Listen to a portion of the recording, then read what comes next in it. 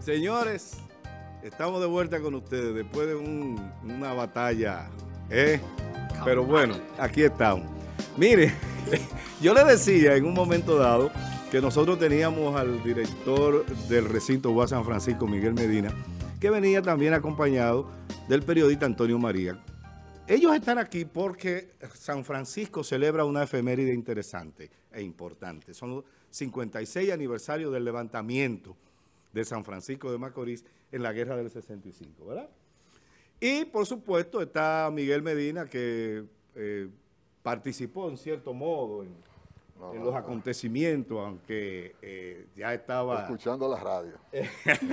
escuchando la radio, dice él. Y Antonio María, que es el presidente de la Fundación Camaño. Con ellos vamos a hablar sobre, este, sobre estos aspectos, porque eh, son uh, gente que conoce de primera mano todo lo que aconteció. Antonio además es presidente del Club Gregorio, el eterno presidente del Club Gregorio Luperón, que criticaba a Balaguer, pero es más reeleccionista que el, que el doctor. ¿Eh? ¿Eh, Antonio? Señor, esa licencia solamente la tengo yo, de decirle esas cosas a Antonio. Antonio, buenos días. Buen día, buen día. Miguel. Porque son de rabo chivo los dos. Amado, yo una ¿Eh? vez... Son de rabo chivo sí, sí, somos de rabo chivo los dos. Amado, más de una vez, atención a, los nuevos de este programa. más de una vez asistí a las sesiones del ayuntamiento en busca de una entrevista esto en el desarrollo de la gestión de Francis Rodríguez y otros. Ya verdad que dijo el presidente del ayuntamiento. ¿Me puedo quitar? Usted se sí, sí, sí, ¿Usted se vacunó, Antonio? ah, bueno, está vacunado también. Veces. Repite eso. Y está vacunado. En la, en la gestión del señor Francis Rodríguez varias veces en, el ayuntamiento como regidor y de, y de, y de otros. Cuando asistía en busca de una entrevista a la sesión del ayuntamiento, decía el presidente, en ese entonces, Miguel Ángel Díaz Alejo, que cuando yo estaba ahí asumían una posición revolucionaria ciertos compañeros de su sala. Y, no es una excepción este programa. Yo vi a, Francis, Amado y al compañero a la base allí, oye, tirándose la cajeta. Desde, que Antonio María entró aquí, esto se convirtió aquí en un campo de batalla. la gente no, se imagina lo que pasó detrás de cámara. Un mediador por excelencia. Mira cómo ya me dio entre ustedes. Pero fíjense, pero fíjense, fíjense, eh, en los momentos más angustiantes de este pueblo, sin yo ser cura, he tenido que actuar como cura en, algunos eventos, sobre todo los movimientos huelgarios, y no solamente en esta ciudad, sino que esta mediación ha sido exportada a Salcedo, a La Vega, Santiago, la capital, entre otros. Pero bien, lo que vamos, venimos aquí a hablar, Amado, es del levantamiento armado, el 56 aniversario. 56 años que San Francisco de Macorís se levanta con eh, los acontecimientos del, 65, la guerra del 65. Se requería la revolución después de los invasores yanquis casi barrer con los que estaban en la zona constitucionalista, o sea, los comandos constitucionalistas bajo el liderazgo del coronel Francisco Alberto Camaño reclamando la vuelta a la vida constitucional del país y el retorno al poder sin elecciones del profesor Juan Bosch y se requería una participación de los pueblos que componían la República Dominicana en ese entonces. ¿Por qué? Para extender la revolución más allá de la capital dominicana. Y esto provocó que los líderes de la línea roja del 14 de junio, del MPD y hasta tímidamente del PRD, en algún momento eh, surgiera la idea de extender la revolución a algunos pueblos. Y así fue. Filedio de Espradel, Homero Hernández, entre otros, se reunieron y determinaron algunos pueblos. Claro, había que incluir el pueblo más aguerrido de la República Dominicana desde 1844, San Francisco de Macorís. Y tan, así lo demostramos, que es el único pueblo que realmente realizó un levantamiento armado en apoyo a la revolución. Más de 20 jóvenes muertos, algunos bajo torturas tanto en el cuartel policial como en la fortaleza Duarte. Mira, eh, Jesús de la Rosa escribió un, pequeño opúsculo, se puede decir, casi testimonial, porque él participó como ex miembro de, la, Marina de Guerra, eh, eh, participó en los acontecimientos. Y él no menciona en su libro a San Francisco de Macorís como pueblo con... pero, hay una cosa, Antonio, y es que él menciona a La Vega.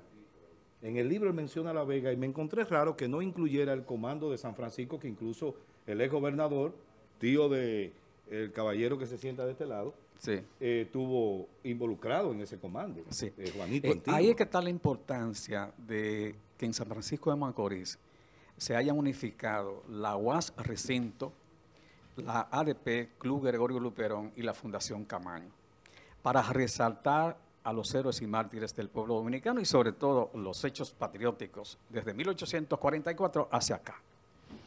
Resulta que si, si, como dice usted, leer los libros, en ningún momento aparece San Francisco de Macorís como el único pueblo en levantarse en armas en apoyo a la revolución. Así es. Y eso, se, eso tiene su, su porqué. Su explicación. El MPD, el 14 de junio y las demás organizaciones políticas que incidían o que incidieron en el levantamiento armado de San Francisco de Macorís, porque aquí hay que destacar que la avanzada principal del MPD del 14 de junio, etcétera, etcétera, se dirigió a San Francisco de Macorís, el caso de Homero Hernández, de Bayardo Jiménez, de Sostene Peña Jaques, de Pasito Polanco, etcétera, etcétera, para asumir el levantamiento armado.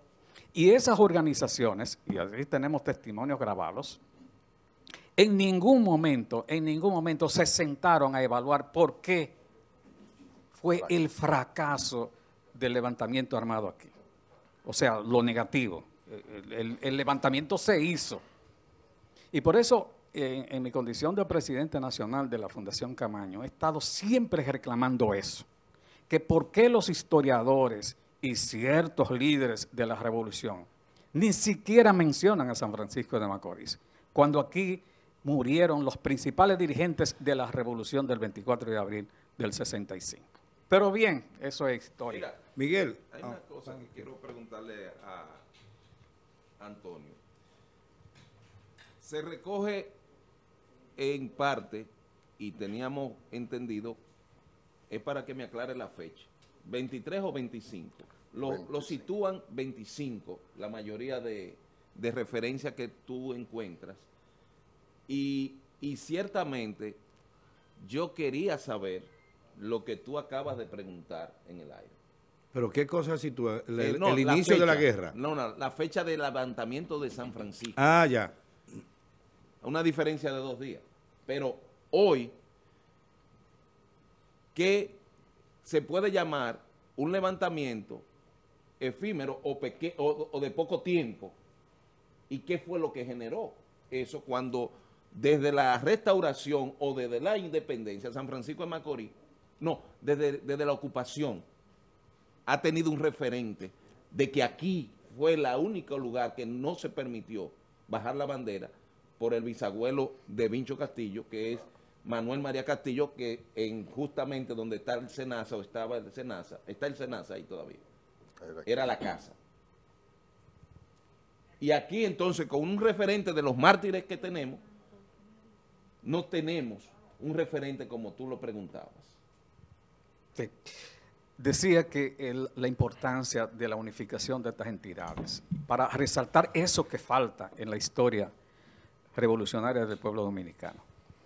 El día, el día 25, o sea, el viernes que viene, eh, con una iniciativa muy buena por parte de la UAS Recinto, se está haciendo a través de Benito Antonio un levantamiento de testimonios de los sobrevivientes. ¿De qué pasó ese 25 de junio del 65? Y lo vamos a proyectar el próximo viernes a las 10 de la mañana en el Salón eh, eh, Ana María Arias de la UAS. vamos, vamos Miguel, ¿quiénes estarán en ese en esa recopilación de informativa? Nosotros tenemos figuras sobresalientes que todavía viven. Bueno, acabo de enviarle a, a quien hay que darle los créditos, a Benito Antonio, que día y noche ha Ahí está Benito Antonio. realizado un, Sí, junto, realizado un gran junto trabajo. con la maestra. eh, de Fidel Guzmán Aquí está la representación de comunicación de la UAS. está Giovanni Ortega, es la coordinadora de extensión. Ahí está. Se está estrenando como coordinadora de Ah, se está extensión. entrenando Sí. como coordinadora de extensión. Sí, Felicidades, antes Giovanni. estaba eh, Tony. El maestro Sierra Tony que pasó a ser el coordinador de bienestar estudiantil. Pero ellos trabajan en pareja, en equipo. Son un buen No, equipo en la Giovanni universidad. Sí, pero, pero, pero vamos a lo del 25. Entonces, eh, puedo señalar al, al exgobernador Juan La Antigua, que narra incluso lo que sucedió en los primeros momentos con los crímenes que se cometieron en la Fortaleza Duarte, porque estaba ahí, en prisión. Eh, Fidel Guzmán Soto, que fue donde llegó Homero Hernández y, otros combatientes eh, constitucionalistas a reclutar los primeros 12 combatientes en Ciudad Nueva para iniciar todos los preparativos y los entrenamientos. Está Negro, que es una figura Negro emblemática. Hidalgo. Negro Hidalgo, que es una figura emblemática y que despeja lo que eh, Francis, el colega Francis, eh, preguntaba sobre la fecha, porque Negro fue herido ahí detrás de la fortaleza el 25 de junio, junto con Abrancito Vargas estuvo ahí y con Bayardo Jiménez, que cayó abatido en ese, en ese intento de ataque a la, a la fortaleza Duarte desde la parte de, del río, de- del famoso Gotera, ¿verdad? De donde gotera. de donde Gotera. Entonces está eh, el historiador Roberto Casat, porque además de la parte heroica y de sacrificio que se refleja en ese documental de aproximadamente una hora, que hay que anunciar que será transmitido por los canales de Telenor en el mismo horario en que se estará proyectando en el salón En vivo, sí. Ana Luisa Arias en vivo, o sea que la población de San Francisco de Macorís tendrá la oportunidad de observar este documental el- a partir del próximo viernes 25 a las 10 de la mañana. Y debo para completar la información del programa de actividades de, del Salón Ana Luisa Arias, nos vamos a trasladar al monumento a esos mártires en el, al lado del cementerio municipal y se hará una exposición que ya se presentaron algunas en pantalla de más de 50 fotografías con mártires, héroes y documentos. Importantes reseñas periodísticas de la época, el documento que elaboró la Organización de Estados Americanos, que una comisión visitó cuatro o cinco veces a San Francisco de Macorís, porque fue prácticamente un genocidio. Fueron prisioneros de guerra que fueron fusilados, asesinados, tanto en el cuartel policial como en la fortaleza Duarte, eh, revolucionarios del temple de, de Valdemiro Castro, de Jimmy Vargas, de Abrancito Vargas, Chepe Sánchez. Chepe Sánchez, Pasito Polanco. Entonces, para concluir esa parte, debo decir que con este homenaje del próximo viernes 25 se va a dejar un testimonio ya, un documento, Batalla del Puente Duarte. un documento histórico. Bueno, ahí está Juan la Antigua haciendo su relato, un, un relato dramático, porque antes de que lo asesinaran, eh, recibieron la información en la prisión por parte del probó, como se le llama, recibieron la información de que iban a ser asesinados, tanto el viejo Chepe Vázquez, que finalmente salvó la vida de manera milagrosa, como eh, Jimmy Vargas, que fue asesinado.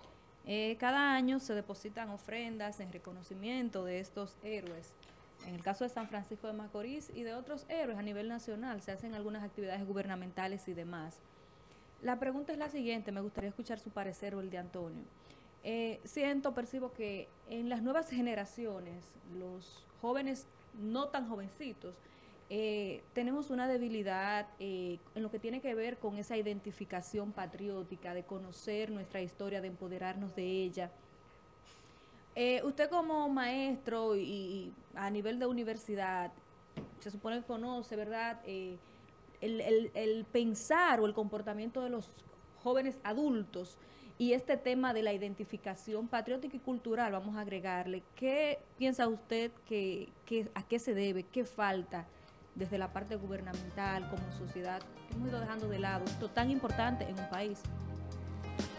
Eso se trata de un proyecto de contrainsurgencia que se inició precisamente con mucha intensidad a partir de la Revolución de Abril de 1965. Todo un bombardeo ideológico para desviar la atención, para, para borrar la memoria. Precisamente por eso, la unidad de extensión y la actual gestión de la Universidad Autónoma de Santo Domingo, recinto San Francisco, tiene un programa que se llama de recuperación de la memoria histórica.